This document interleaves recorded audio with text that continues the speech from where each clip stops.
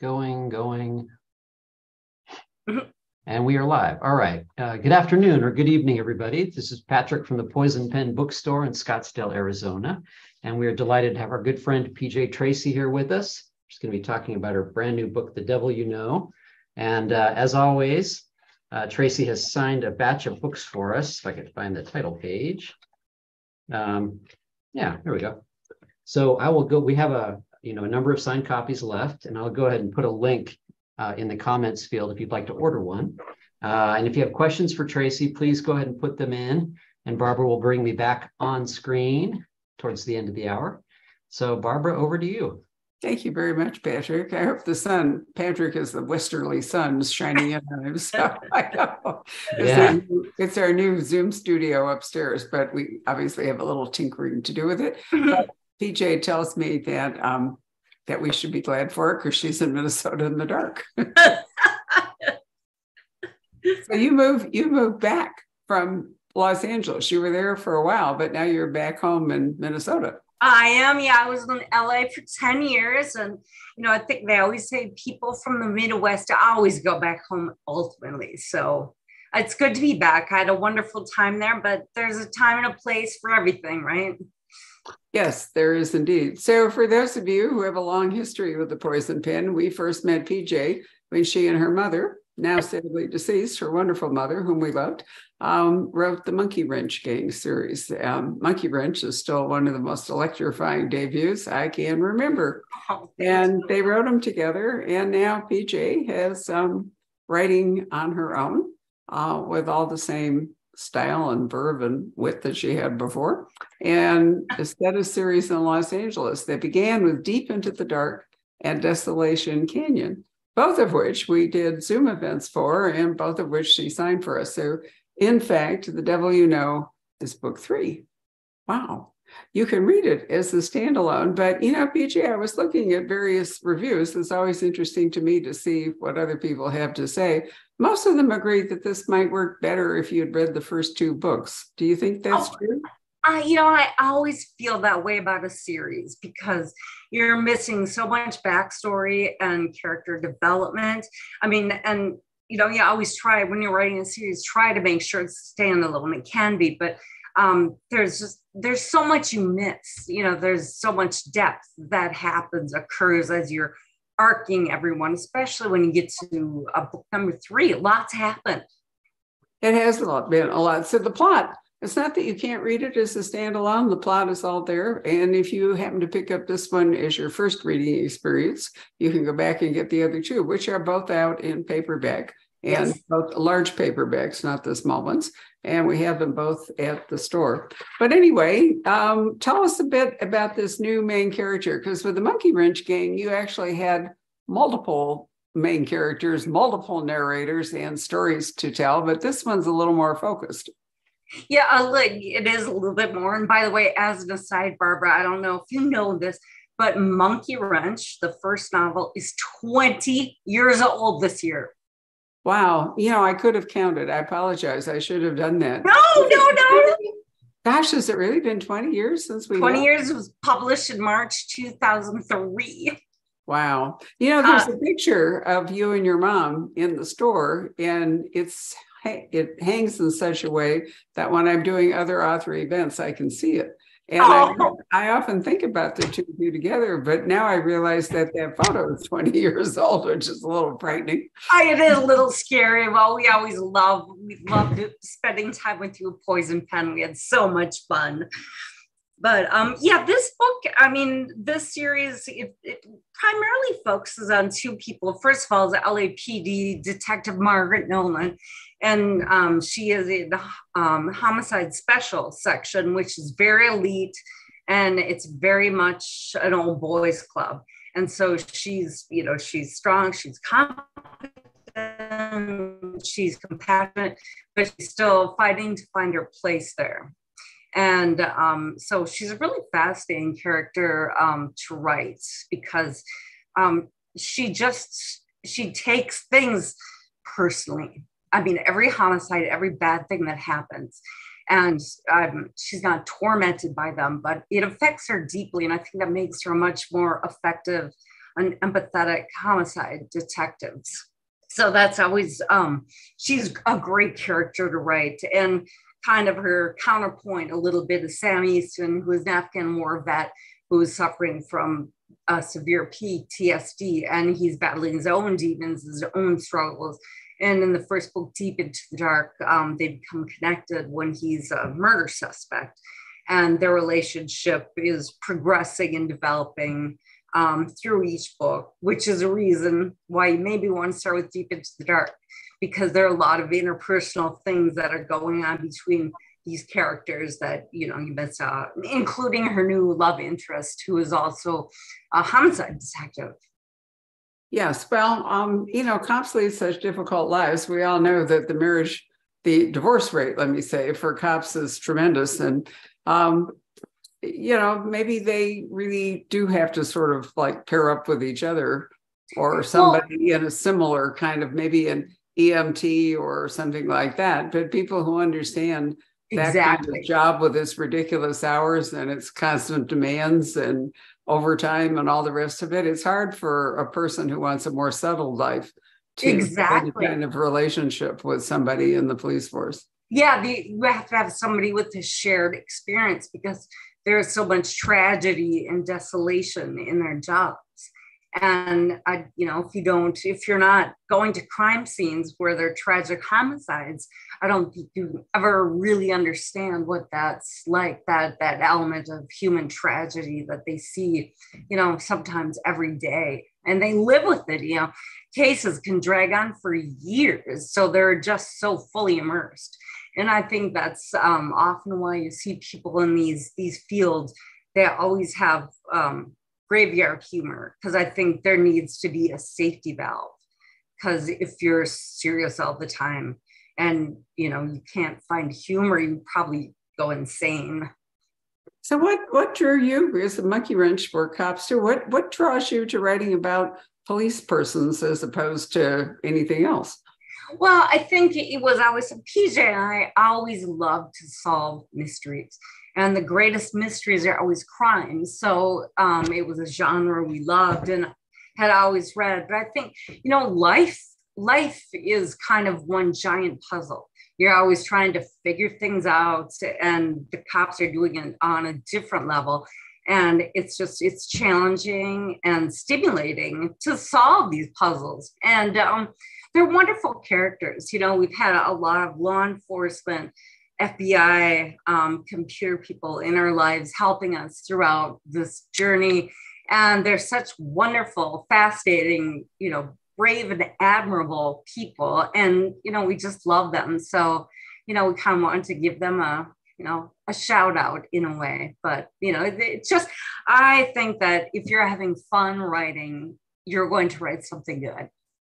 Well, living in Los Angeles for 10 years let you make that transition from a Minnesota based group to um, an LA group. I think um, I read in something that said that people who read Robert Crais, for example, would really enjoy your books. Although personally, I think they're quite different, but nonetheless, yeah. they're not really they're not really Harry Bosch Los Angeles books. But you know, there's it's a big city with a very complicated um, social fabric. He had a very complicated police department, which is actually not controversial, too, I should say. In right. Real, very controversial in real life. So, and currently, probably really undergoing some pretty drastic everyday pressures because of the storms and the general mess that California is enduring right now. What an what an awful thing to oh, be through it's just terrible. And, you know, people, I think, always, not always, but, you know, people will kind of think of LA as one thing or the other, and they associate it only with a big city or only with the gritty underbelly or only with celebrities.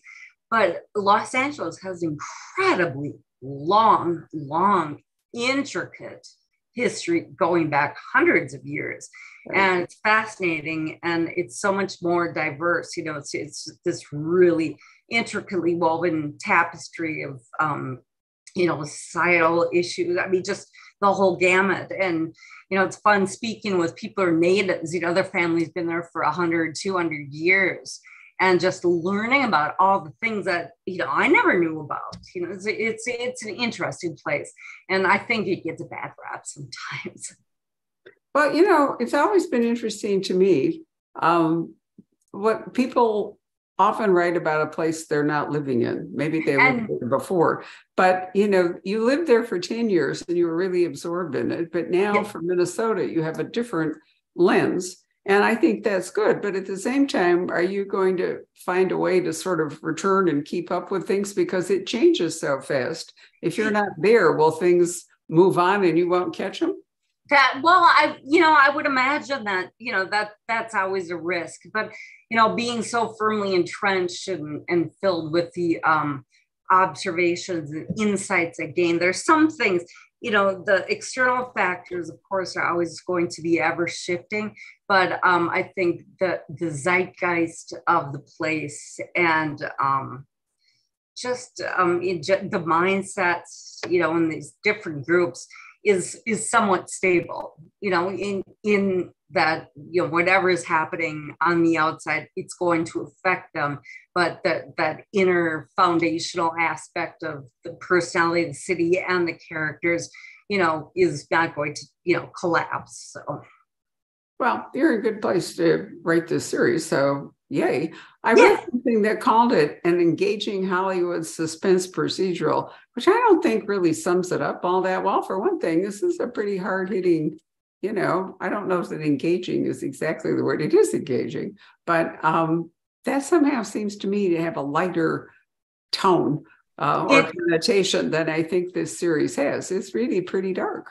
It is. It is pretty dark, and I mean, there is still the the humor and the quirky characters of the you know Margaret Nolan and you know the main characters, um, but it is darker. But LA is a much darker place and darker things happen there. And, and that, you know, distinguishes it from Minneapolis. I mean, every, every big city has got issues, but um, LA definitely has a, a darkness to it.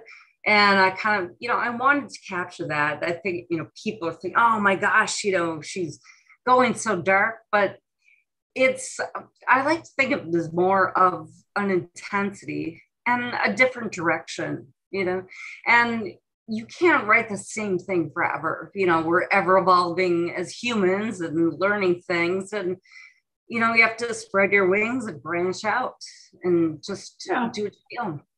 Crime fiction has always had a, an interesting nexus with Hollywood. You know, there's always a fascination with Hollywood history, Hollywood characters, Hollywood corruption, Hollywood yeah. things, you know, whether you're James Ellroy or whatever. Um, and in this book, I think, you know, you really dish up a lot of Hollywood. Um, and let's talk about the prominent actor Evan Hobbs, because oh, every, yes. every book needs both a victim and a villain.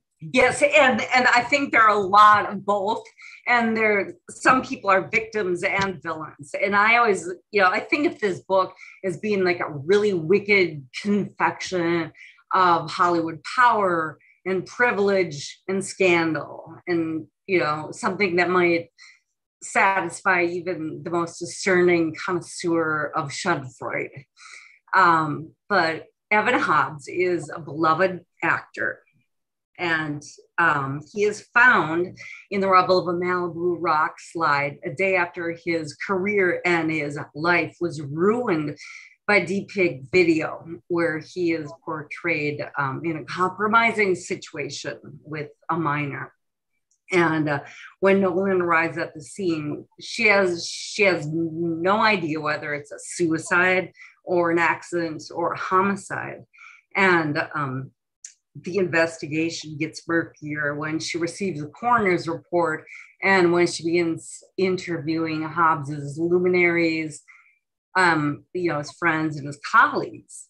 And all the while, Hobbs' agent is in full on damage control mode, dealing with a psychotic boss and a woman he scorned and his, his new super famous girlfriend and all the lives of these powerful players kind of braid together as the story unfolds in very shocking ways. And as I was writing it, some of it shocked me too. there you are. Always so we know at the beginning that two bodies are going to be found at some point in the plot. Um, so you know, At least. it- yeah, it's a murder mystery, so Right. this can't be any surprise.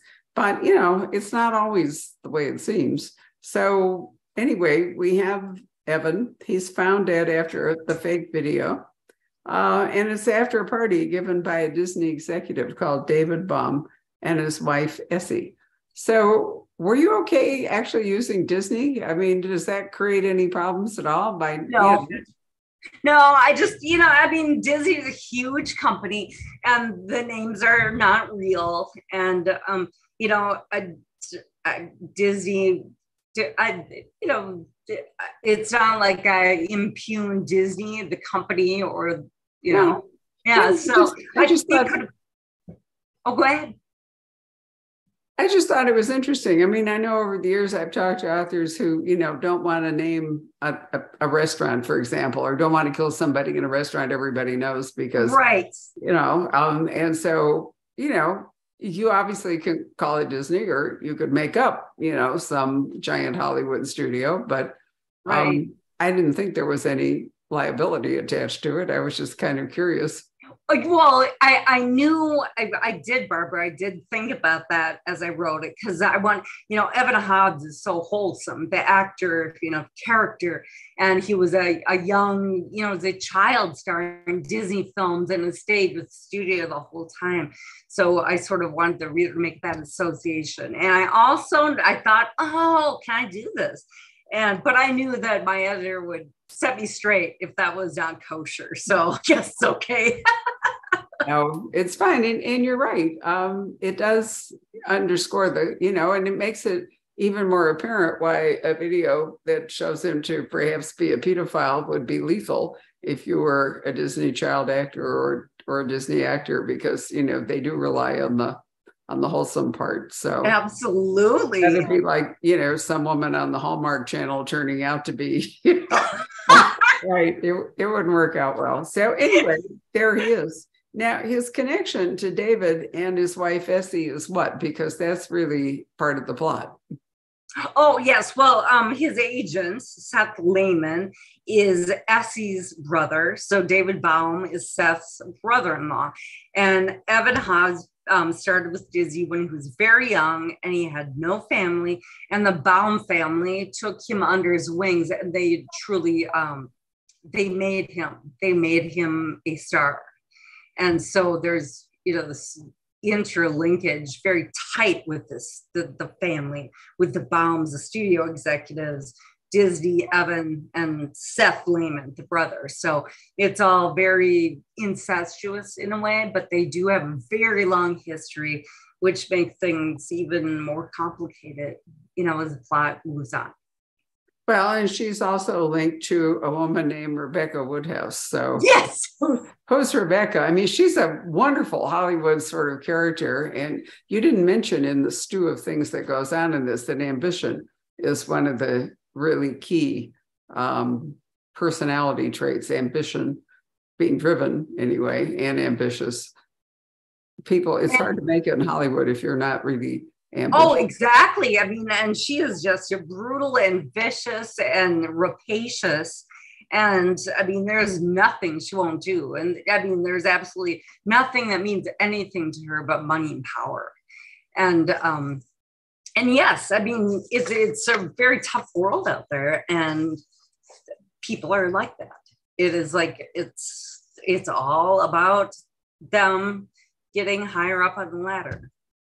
Yeah, no, truly. And she's one of those kind of imperious people. She reminds me to some degree of the lawyer in Bosch, you know, the Maggie, oh. whatever is that? Oh, yeah.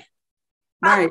Um, although she softens in the sequel, you know, she's she's shot in the series and other things happen. And so she's not, but in the early Bosch, you know, she's you would never want to cross her. I mean, she is a really um yeah, tough and you know and and somewhat without morals well quite yeah i mean her ethics can bend some and she's certainly ruthless i mean ruthless yes. is a great quality so you know, in an age when we're all talking about women having agency, I wonder, you know, if we sometimes reflect that maybe some women have too much agency. I know it, but you know, Barbara, it's just you know, a characters like that are sort of like candy. You know, they're so fun to write. Yeah. And you know, it's just and it seemed totally appropriate for dealing with the, the film industry, you know, very much so. So you know, yeah, well, was- have larger than life characters. And, you know, one of the things that's always surprising is when you meet some, you know, Hollywood star or something in person, they are so much less most of the time than you expect. I've had that experience. I'll never forget going to a after premiere party in New York and Johnny Depp showed up. And oh. you know, I would have, I would probably have had him arrested as a bum off the street if I had known he was Johnny Depp. You know, I mean, he had a holy T-shirt, and he was just, you know, I mean, you would, you would, you wouldn't invite him to a party if you were a real, you know, regular person. Was exactly. just one example. And many, many years ago, I remember, um, it was in our little store when I was probably the only employee or one of the very few employees anyway. And I remember sitting behind the checkout desk and I had my head down, and all of a sudden over me, I heard this voice talking to somebody else. And I thought that can't, I looked up and it was Robert Mitchum. He had oh, this. you're kidding. No, because he he spent time in Scottsdale, but I mean he had that particular voice. And yeah, when I looked at him, he didn't, you know, his physically he wasn't nearly as remarkable or impressive as his voice, which you know we were all used to. And and great actors usually have a really distinctive voice. I mean, that's a big part of them. And um, you know, James Earl Jones, for example, we did an oh. event years and years ago, and I had a, a young employee, and I can remember um, hearing her scream, and I looked up and I saw money flying through the air because she had a cash box, and James Earl Jones had come up to buy something for her. She, she had her head down, but when she heard the voice, you know, she went like so, you know, but but very often if you pass them in the street, you know, and you can't hear them, and and they're not all, you know, in makeup and fancy clothes now, you wouldn't even notice a lot of them. Oh, I know. And they're always so much smaller than you yes. think. You know, they're very imposing on the screen, but you know, they're not exactly tall people. They're not big people. I mean, obviously they're exceptions, but it is, um, you know, pretty extraordinary because, you know, in, in 10 years and I was entrenched in the film industry out there and it's just, it's always a surprise.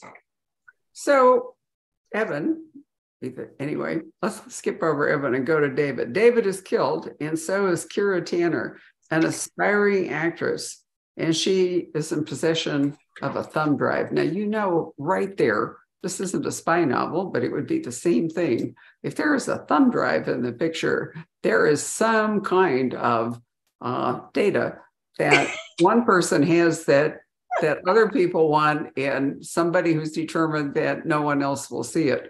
I mean, it's a you know, I love it.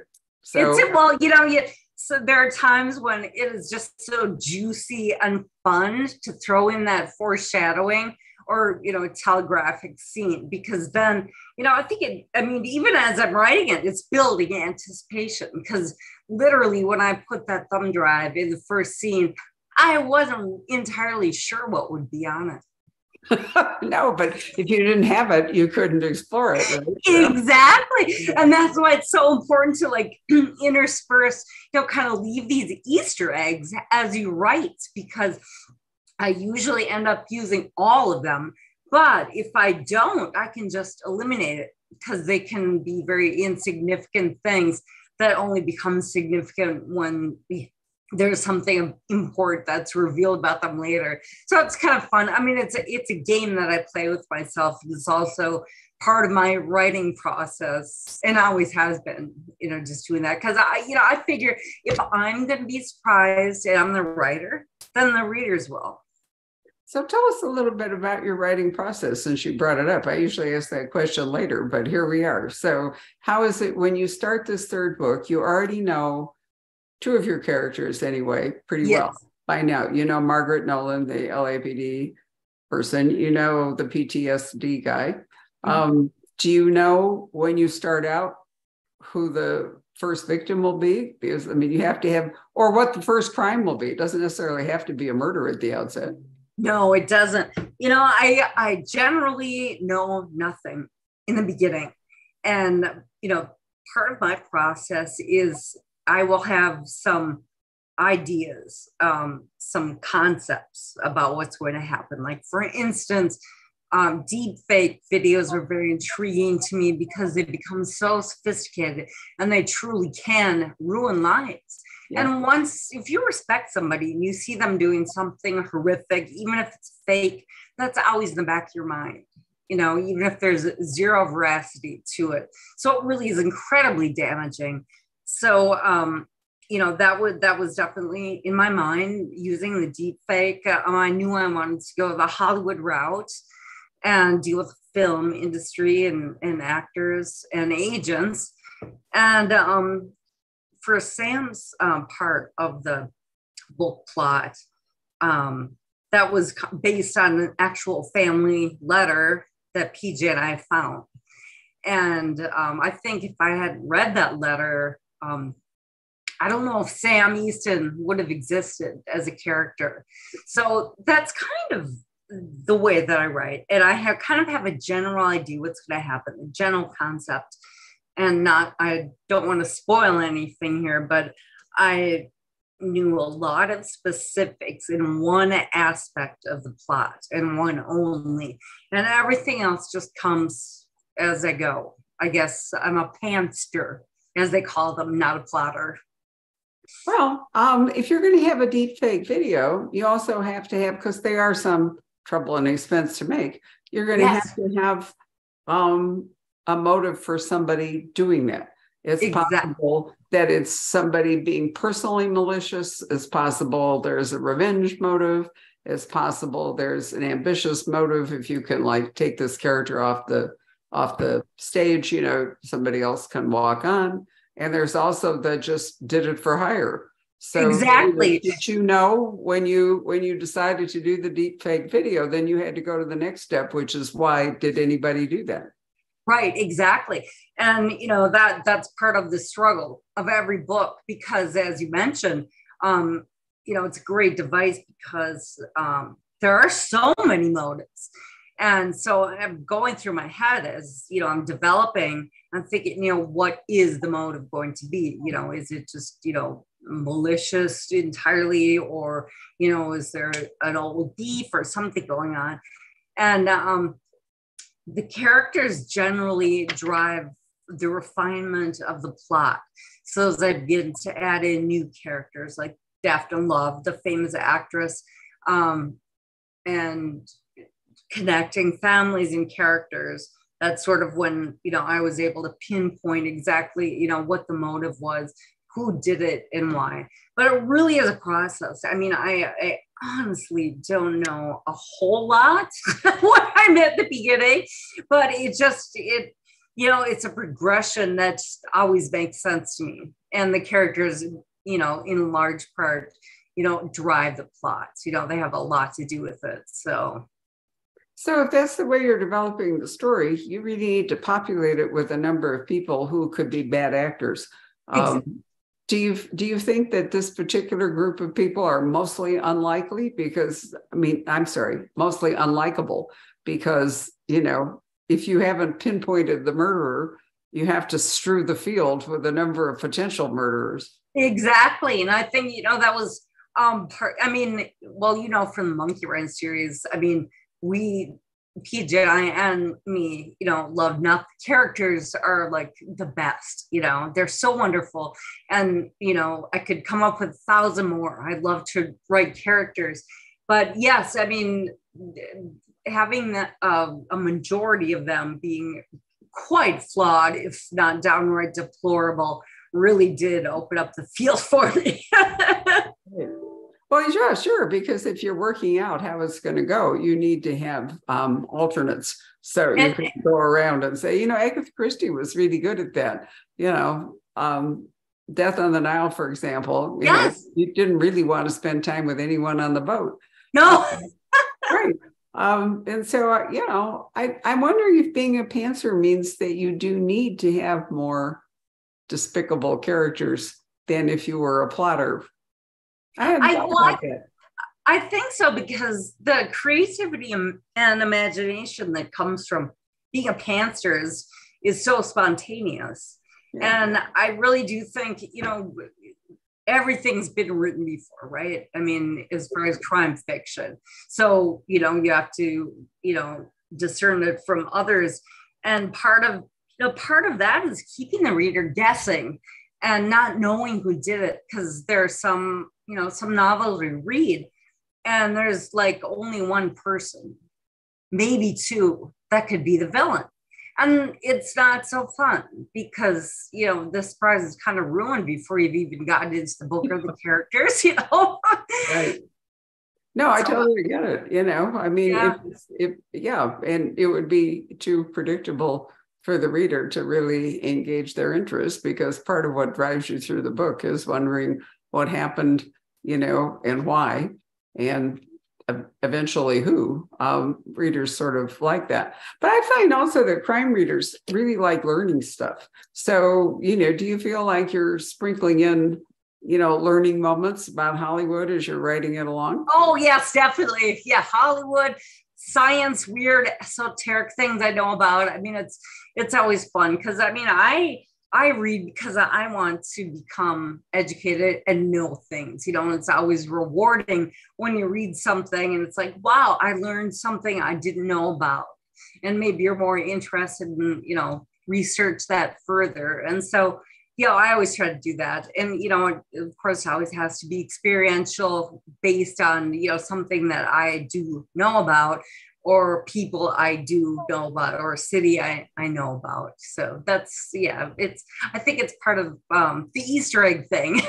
you know, you have these little nuggets. It definitely is an Easter egg thing. So I, you know, I thought that this line, um, I can't even remember which review it was that said, from the opening, readers will know two bodies are going to be found at some point in the plot.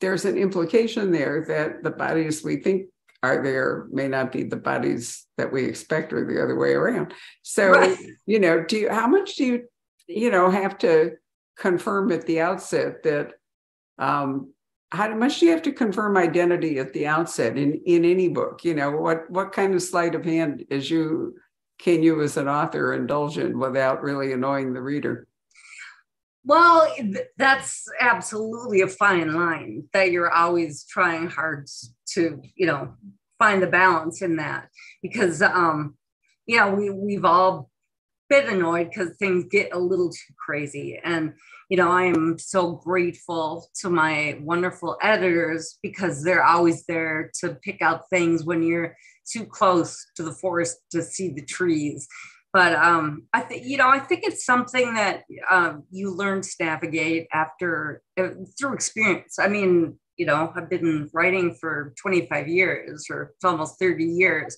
and it's something that you just get a sense of and a feel for. And of course, I'm a voracious reader, and I think reading good books is as instructional as reading poorly crafted books because you see what doesn't work and you know what kind of pitfalls you want to avoid. So i think you know it's it's just you know writing as a craft and you are always improving until the day you stop writing or the day you die which is usually the same day for writers i think.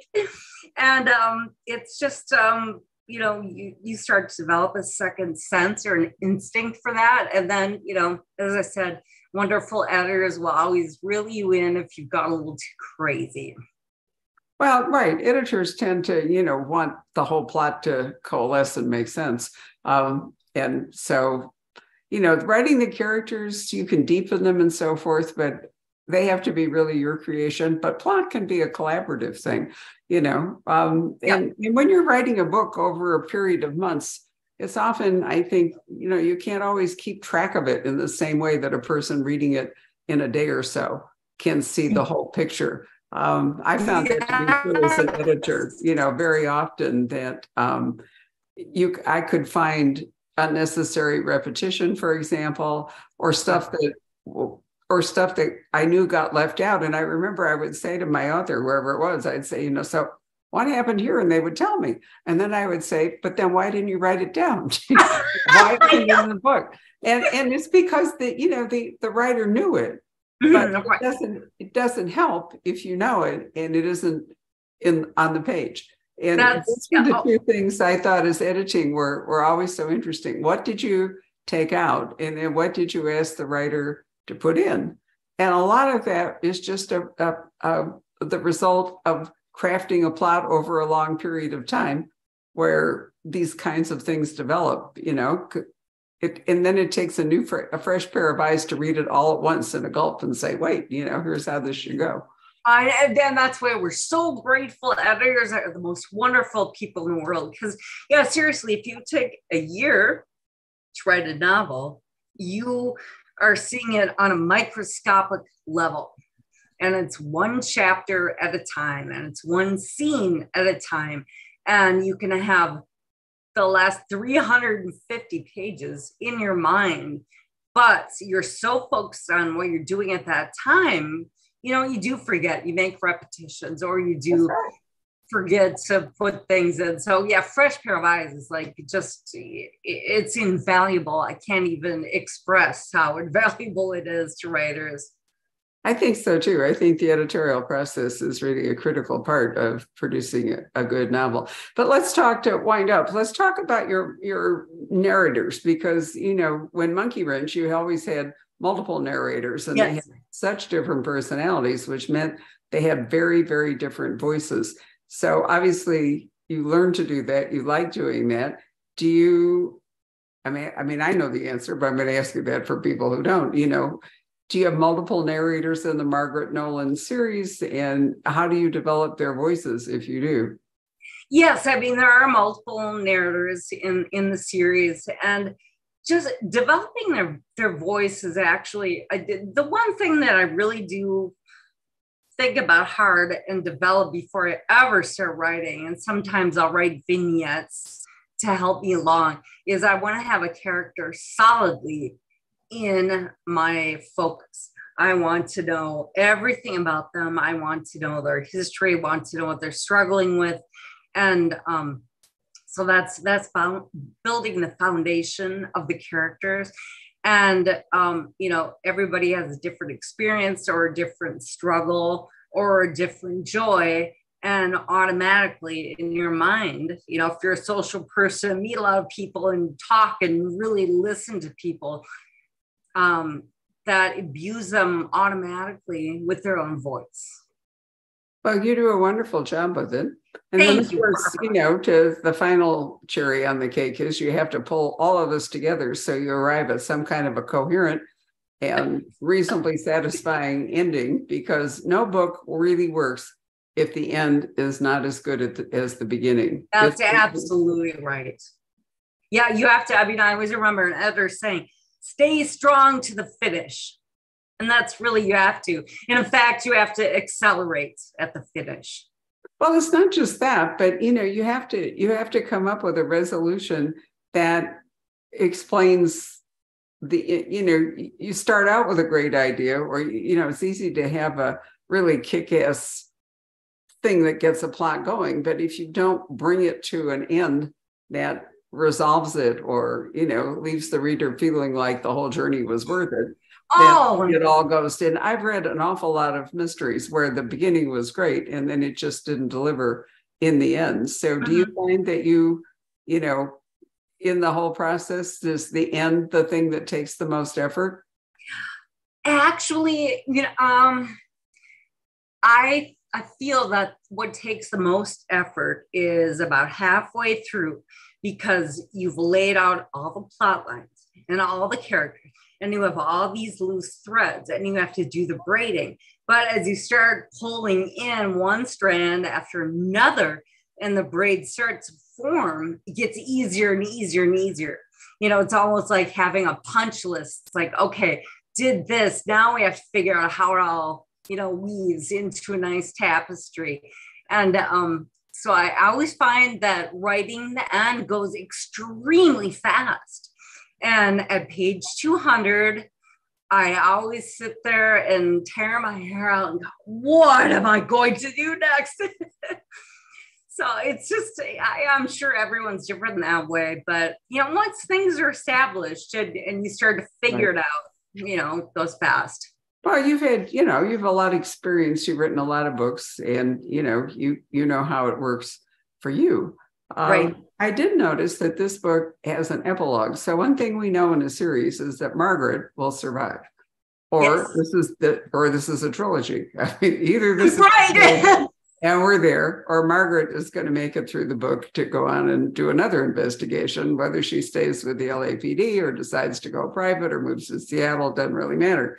Um, but you know, the use of an epilogue can allow you to explore one more thing before the surprise conclusion. Um, yes. I'm not going to do any spoilers here. It also doesn't necessarily have to be the main character who winds up the the book. So, do you find an epilogue to be a really useful thing in a complicated plot?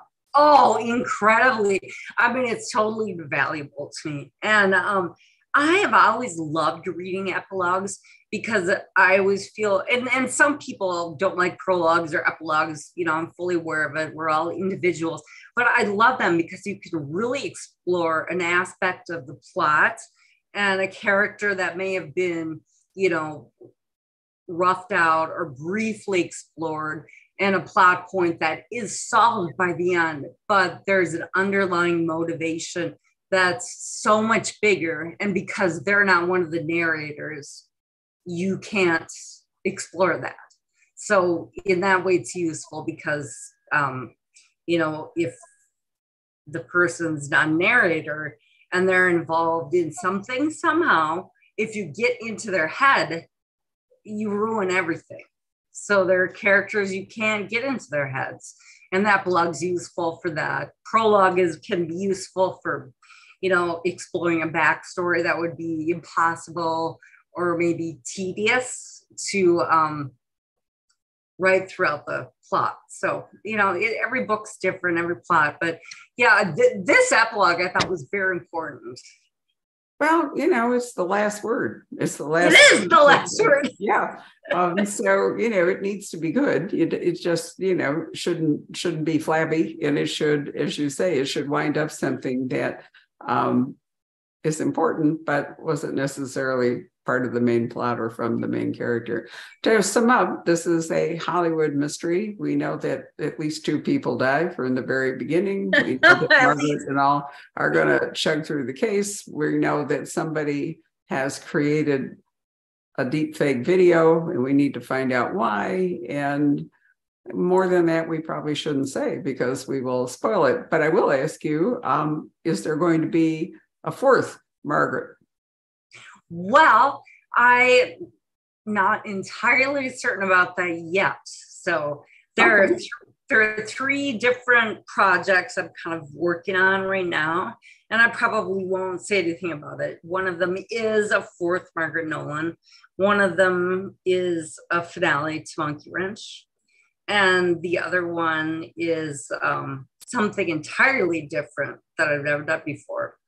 And so i'm just kind of waiting to see where that goes and you know what the publisher wants to do and well the so only important question is are you writing something? You know it doesn't necessarily have to be anything in particular but i think fans always want to know that there'll be some new work from you whatever there's going to be some new work and there will be at least three more new works in the next three years i can guarantee that Excellent. Well, that's really good news. On that note, Patrick, come back if you're not blinded by the setting sun. I wish I was. I, well, right. Oh, there's Patrick. Completely different now. It's it is. The sun's yeah. gone down and it's good. nice and dark. But we need to do something about this light. It's really kind of antiseptic feeling. Yeah. yeah. I'm in a doctor's office or something. You need mood lighting, Patrick.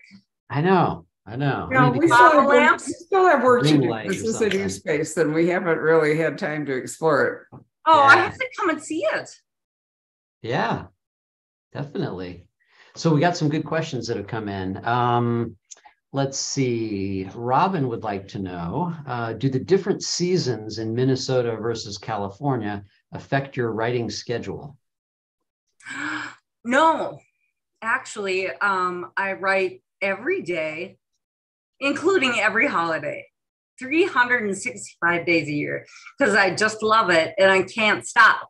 And I can't stop thinking about it. So I'm always writing. And whether it's hot out or cold out, I mean, back in, in the Monkeewrench, when I was doing Monkeewrench, it was so funny because my publishing schedule was thus that I would do a spring, summer, fall, winter, you know. Right. I remember. Yeah. Yes. And did that eight times, 10 times actually and it would always end up that I was writing about a bitter, you know, sub zero, horrid January, and it was like July here.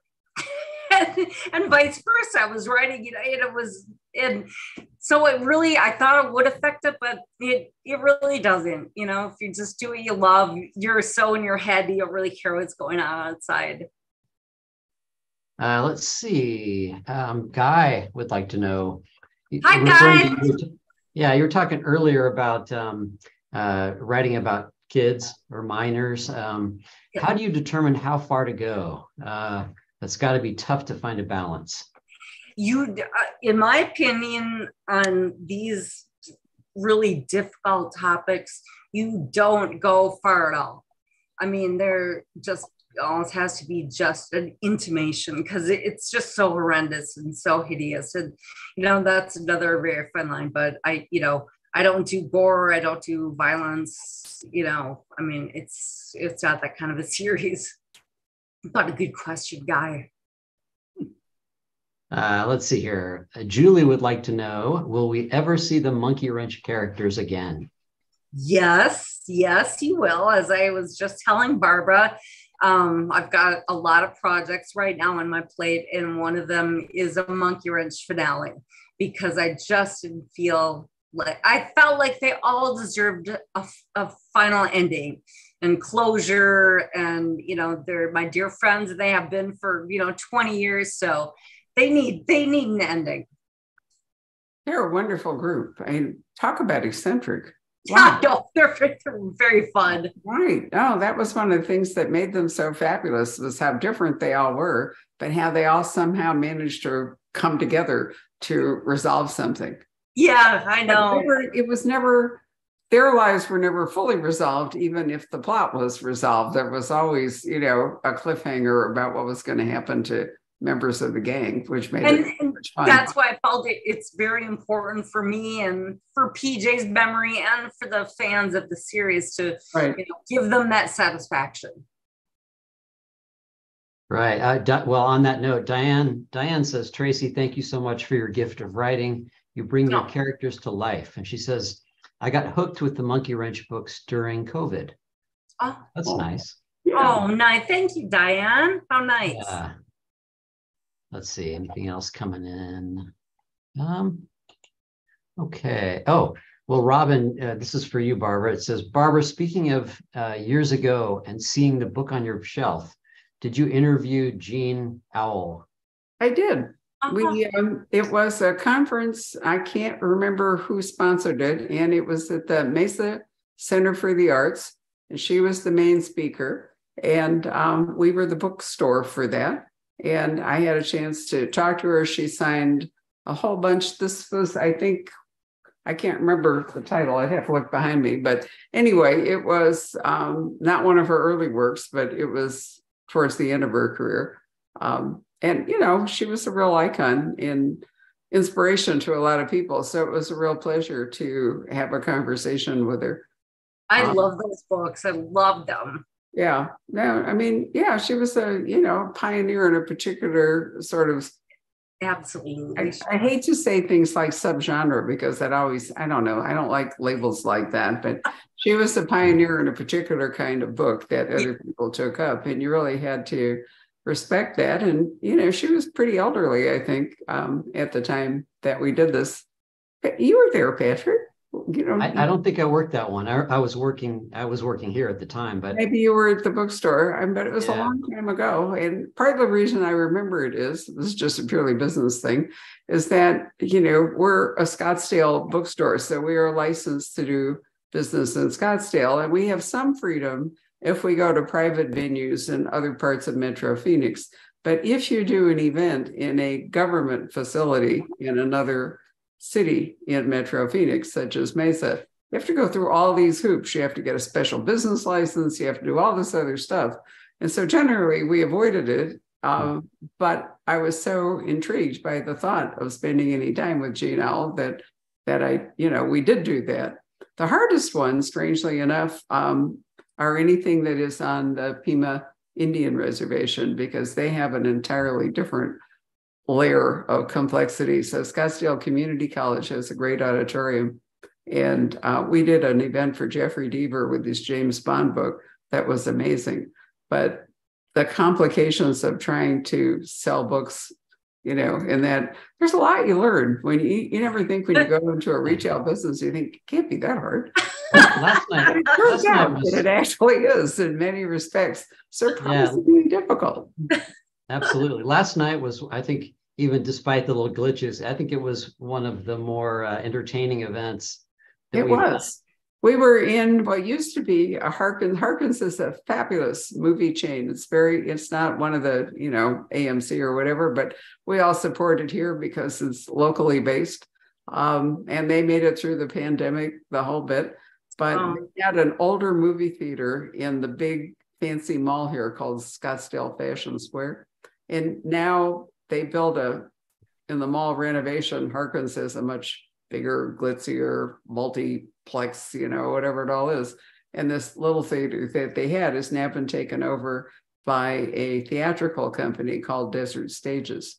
And it oh. holds about what, about 210 people or something. something and they like were that. actually in the middle of producing Seussical the musical, but because it was Monday night, um, the, they weren't doing Seussical, So we got to use it for Preston and Child. And it was like you know i asked i i don't think i ever saw a film there but you said you did patrick oh, you sure yeah yeah yeah yeah it was there for a long time and um yeah so it's like this little this little warren of uh of, of old movie theaters that they've yeah. retrofitted into stage theaters and so last night uh douglas preston it, eh, as you were saying it was set up for all this dr seuss backdrop yeah. and uh but it was just kind of fun, you know, different different place to do it. Doing and, and Lincoln Lincoln Child had to be brought in because he wasn't there. He had to be brought in on Zoom, and they had this enormous white screen behind us. So talk about bigger than life Hollywood characters. Lincoln was about twenty feet tall. I bet. There, you know, these little people in front of Lincoln. It was all